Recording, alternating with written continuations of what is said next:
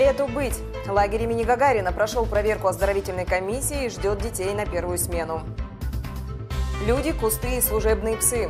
День пограничника городской корреспондент встретил на засекреченной заставе. Бэмби зовет на помощь.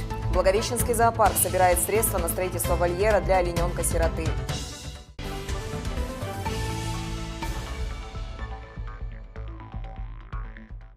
Обо всем подробнее расскажем в ближайшие полчаса в эфире «Новости города». Здравствуйте. И к первой теме. В Благовещенске продолжаются плановые отключения горячей воды. В этот раз без нее остались жители центральной части города. Коммунальное благо отключили в домах, находящихся в квадрате между улицами 50-летия Октября и Лазо, а также Ленина и Октябрьской. Здесь воды не будет до 7 июня. А вот в многоквартирные дома микрорайона, расположенные на улицах Студенческая, Дьяченко, Институтская, Воронкова, Василенко и Кантемирова, она должна была вернуться еще в прошлую пятницу. Однако этого не произошло, в связи с тем, что АКС в ходе гидравлических испытаний выявили дефекты на внутриквартальных сетях. Их планируют устранить в кратчайшие сроки. Дожди не покинут Благовещенск еще как минимум пару дней, а ветер и вовсе усилится до 16 метров в секунду. Помимо дискомфорта, непогода вносит коррективы и в благоустройство города. Покраску, высадку цветов и многие другие работы из-за дождей пришлось приостановить. Были объекты спортивные, которые мы должны были подготовить и уже запустить к Дню города. Но, к сожалению, погодные условия на прошлой неделе наши графики немножко сбили, а на этой неделе они практически, наши графики, поменяли полностью, и поэтому сегодня мы не сможем в том объеме, как планировали, выполнить эти работы. Их придется немножко продлить и уже дополнять после Дня города. В частности, придется перенести открытие скейт-парка в УКЦ и роллерной площадки на набережной. Между тем, погода обещает наладиться к субботе. Ветер хоть и не будет слабым, 11 метров в секунду, но температура воздуха поднимется до 20 градусов тепла. Между тем, непогода никак не влияет на работу оздоровительной комиссии по приемке пришкольных и загородных лагерей. Уже в эту субботу часть из них будет встречать первую смену. За два дня проверяющие побывали на 10 площадках. Очередной точкой стал лагерь Гагарина. Что там сделано для комфортного отдыха детей и какие еще штрихи осталось сделать, узнаете из сюжета. Гагарина стал вторым по счету загородным детским лагерем, который проверила оздоровительная комиссия. Переносить приемку не стали, даже несмотря на непрекращающийся дождь и ветер. Первая смена здесь стартует уже 4 июня. Специально к летнему сезону здесь обшили корпуса, уложили тротуарную плитку и установили крытую сцену. Старая, еще советская, была без крыши. И во время дождя каждому отряду приходилось проводить время в своей беседке. Это было неудобно. Сейчас вопрос, где проводить общелагерный сбор в непогоду, почти решен. Осталось уложить покрытие. Там бассейн, беседки, поля, вот душевые. Бассейн с подогревом? Да. То, что бассейн с подогревом, комиссию порадовало, как и то, что рассчитан он на детей разных возрастов. Чашу уже почистили, водой наполнят после того, как закончатся дожди. В корпусах тоже все готово, даже от комаров провели специальную обработку, а в столовую и муха не залетит. Мы в этом году поставили специально от мух вот такие штучки, чтобы не было ни мух, ничего. Что должно быть обязательно, так это огнетушители и планы эвакуации. К противопожарным требованиям у проверяющих повышенный интерес. Особое внимание мы уделяем это работоспособность автоматических установок пожарной сигнализации, первичные средства пожаротушения и действия персонала в случае возникновения пожара и готовность к этим действиям. Ну, на данный момент проверка проходит, замечаний нету. В принципе, организация готова к приему детей. За это лето в Гагарина отдохнут больше шести сотен ребят. На каждый день для них уже составлен план досуговых мероприятий. У нас творческое направление, оно так и остается. Мастер-классы по хореографии, вокалу, актерскому мастерству, декоративно-прикладное творчество, рисование пользуются популярностью, танцы, конечно же. Гончарный круг к нам сюда переедет, два гончарных круга, и дети себя будут пробовать вот в этом виде искусства. То есть, ну, много интересного всего. Насколько интересно и безопасно будет в других загородных и пришкольных лагерях, комиссия еще проверит. За два дня она дала зеленый свет 10 площадкам. Акты у нас все подписываются, э, все проверенные нами комиссии лагеря э, готовы э, к летней оздоровительной кампании. Еще у нас останется проверить, 13 лагерей нам еще останется проверить. Сделать это проверяющие намерены до конца текущей недели. Анжелика Павлова, Андрей Белый. Программа «Город». Идет в Благовещенске подготовка и к купальному сезону. Он стартует 1 июня. В этом году в городе будет действовать 8 мест массового отдыха. На Зее искупаться можно будет на Амурской 1, в районе переулка Связного, в Белогорье и в Зазейском. Одно место для купания будет действовать в Маховой паде на ручье Буяновском. Позагорать на Амуре можно будет на отрезке от переулка Уралова до Артиллерийской. А любители отдохнуть на озерах смогут это сделать вполне легально на Первом Владимирском. Везде уже установлены вышки. На них будут дежурить больше 30 матросов, а параллельно с ними спасательные группы. А в местах, где купаться строго запрещено, их в городе 20, установят соответствующие знаки. Тех, кто их будет игнорировать, ждут штрафы. Установлена административная ответственность за нарушение требований знаков безопасности на водных объектах. То есть мы в этом году уже под, знаки будем спокойно с привлечением, конечно, с оказанием помощи полиции сможем составлять административное правонарушение и привлекать к ответственности лиц, которые купаются в неустановленных местах.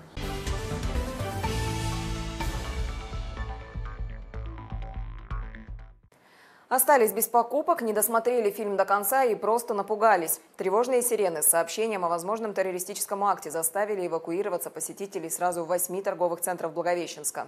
Сообщения о якобы заложенных взрывных устройствах начали поступать в дежурную часть в шестом часу вечера. Крупным торговым центрам, среди которых острова, Мега, Флагман, Перекресток и Ледяной, незамедлительно выехали полицейские и спасатели. Они эвакуировали из зданий посетителей и персонал. В результате проверок специалисты не обнаружили каких-либо опасных предметов. Кстати, Благовещенск не единственный город, по которому прокатилась волна ложных минирований. Массовые эвакуации также прошли в Улан-Удэ и Иркутске. Специалисты ищут источник сообщений. И к другим темам. Российские пограничники отмечают профессиональный праздник. Они охраняют больше 60 тысяч километров государственной границы. 1250 из них – амурские.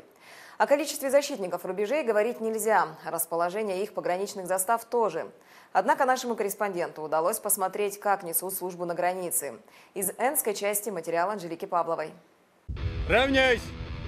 Смирно! Равнение на середину! Личный состав для проведения боевого расчета построен. Далее гимн страны и поднятие флага. Так начинаются пограничные сутки на заставе. 365 дней в году. Ровно столько же охраняют границу. Выполняйте приказ. Пограничный ряд направо. На охрану государственной границы Российской Федерации шагом марш! Предугадать, когда зазвучит сирена, невозможно, но если это произошло, действуют пограничники быстро и четко. На все про все три минуты, когда нарушитель на границе, действовать нужно молниеносно.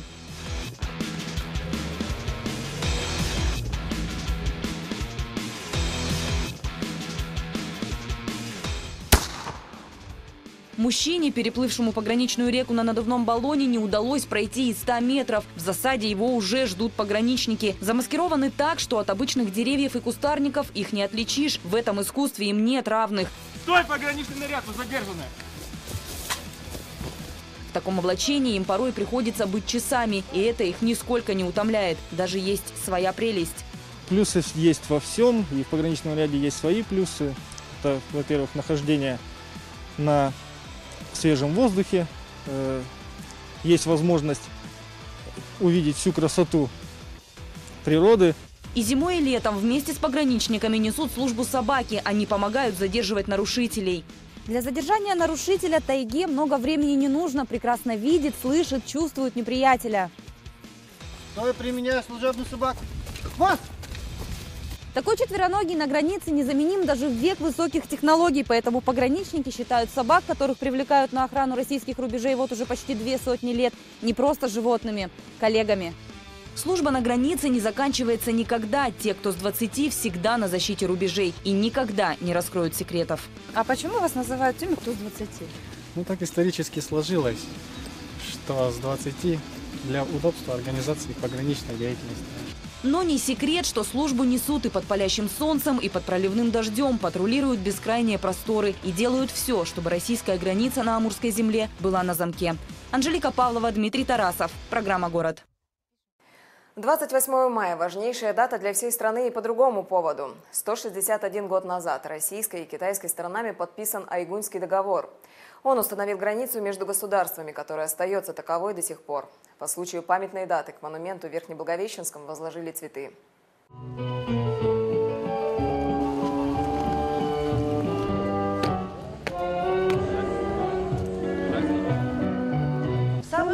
мечтах, я думаю, те, кто стоял у истоков, и Муравьев, ставший Амурским здесь, даже и предположить не могли, как будет развиваться Амурская земля, как будет развиваться Дальний Восток. Но я уверена, что если бы он видел, что происходит сегодня на нашей земле, он гордился бы тем, что он сделал вместе со своими товарищами. Вечная память тем, кто отдал свою жизнь, кто потрудился на благо и процветание русского, Амурского края. И дай Бог, чтобы мы, уже люди, живущие, родившиеся особенно в этом крае в 21 веке, не подвели.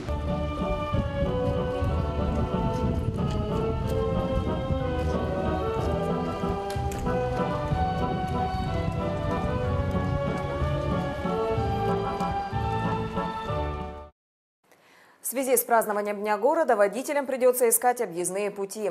2 июня с 6 утра перекроют улицу Ленина.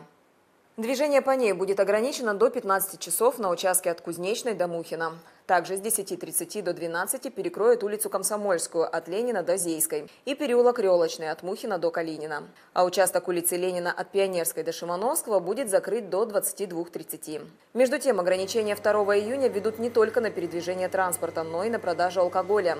В этот день его перестанут продавать за два часа до начала, во время и в течение часа после окончания массовых мероприятий. А полный запрет коснется мест проведения праздника и прилегающих к ним территорий.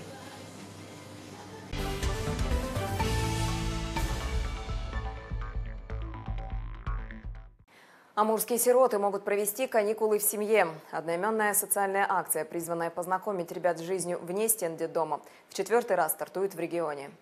Специалисты Министерства социальной защиты считают, что гостевой режим помогает детям получить новые бытовые навыки и просто насладиться теплотой общения с взрослыми. В семьи приглашают детей старше 10 лет.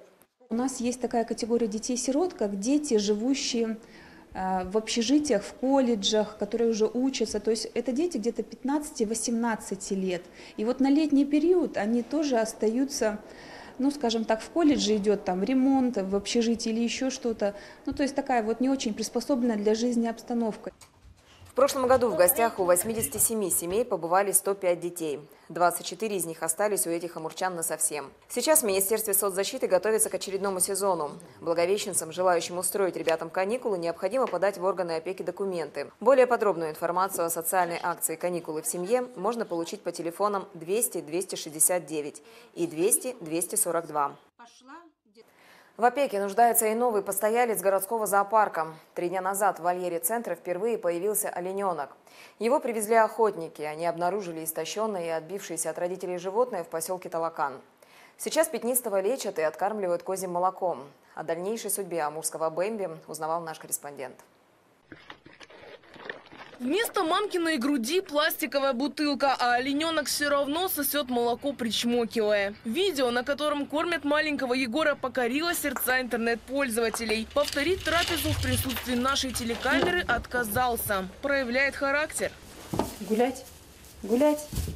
Я же гулять хочу. Гулять олененку пока рано. Впрочем, Егор своих сверстников уже опередил в развитии. Обычно новорожденные парнокопытные лежат до 14 дней, а он недельный, на ногах. За успехами малыша ежедневно следит Татьяна Казимирова. Ветеринар заменила пятнистому новоселу маму, несмотря на отсутствие опыта выхаживания оленей. Сложность была именно в том, что он был не совсем здоров то, что у него были проблемы с пищеварением, поэтому нам приходилось, естественно, лекарства вливать в него, естественно, они неприятные, ему не нравится, выплевывает. А так нет, поесть любит, запихивать не приходится. Сколько ест в день? Ну, минимум 4 литра. Егора, Егора, Егорочка, своему имени Егор уже привык. Без опаски подходит, если его позвать. И, в принципе, стал очень ручным. Любит, когда гладят, целоваться и особенно лизать волосы. При встрече с охотниками такая храбрость может стоить ему жизни. Отправлять Егора в дикую природу категорически нельзя. Специалисты зооцентра хотят оставить его себе. Проблема лишь в том, где его содержать. Сейчас э, он может поместиться в любую клетку, но уже через полтора года у оленя вырастут рога. Они могут достигнуть метра в высоту, и уже в обычный вольер ему не зайти. Поэтому в зоопарке хотят построить специальный, чтобы поселить в нем не только оленя Егора, но и косуленка Яшу. Ну, примерно 20 на, на 4 вот такое вот у нас есть место, где мы им сделаем нормальный вольер с загончиком, с, с местом, где они будут кушать. На, я думаю, что на год им достаточно будет этого места. Средств, ну, больше 100 тысяч нужно. Номер карты, на которую можно перечислить пожертвования на экране. Кстати, сейчас у любого благовещенца есть возможность стать опекуном Егора. Кристина Каширина, Денис Лугов, программа «Город». Сделать доброе дело горожан призывают и благовещенские юристы. 8 июня в Парке Дружбы они организуют благотворительный забег в поддержку тяжелобольных детей.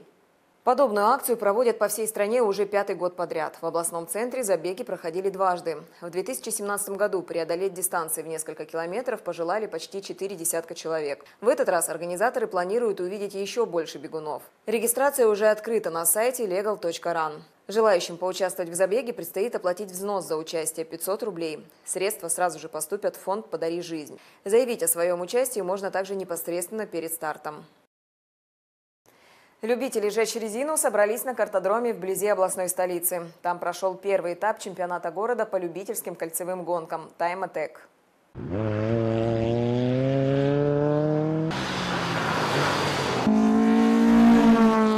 Седьмой сезон собрал свыше 20 пилотов из Благовещенска, Свободного, Тамбовки и Хабаровска. Они сразились в умении входить в повороты и преодолевать прямые отрезки трассы на высокой скорости. В этом году организаторы задачи участникам усложнили. Вместо обычных дорожных фишек поставили тюки сена весом по 15 килограммов. Они выполняют роль искусственных ограничителей скорости – ретардеров. Многие зрители зададут вопрос сразу, а зачем это? В связи с тем, что соревнования любительские э, и автомобили не оснащены каркасами безопасности, на прямой мы должны сбавить скорость, чтобы скорость была не запредельной и это было безопасно для пилота. В связи с этим мы сделаем искусственное ограничение, выстраиваем вот это ограждение, скажем так, и они его уже объезжают. За сезон пилотам предстоит пройти еще три этапа. Победителя назовут на закрытие последнего тура 12 октября. На этом наш выпуск подошел к концу, а я напоминаю, прислать историю, фото или видео вы можете на наш WhatsApp. Они могут стать новостью в программе «Город». Спасибо за просмотр и до встречи в эфире.